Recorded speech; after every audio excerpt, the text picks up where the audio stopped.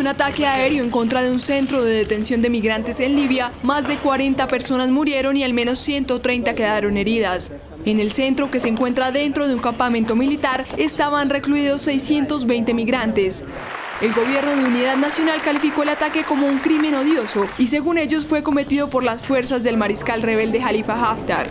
Por su parte, la Agencia de Refugiados de las Naciones Unidas solicitó la evacuación de los centros de detención de migrantes en Libia y una investigación completa sobre el ataque.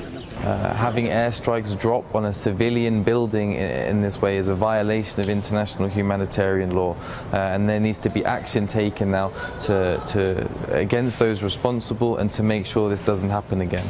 Si bien Haftar no se ha atribuido el ataque, anteriormente aseguró que habría una serie de bombardeos aéreos para retomar Trípoli y liberar a Libia de milicias y terroristas.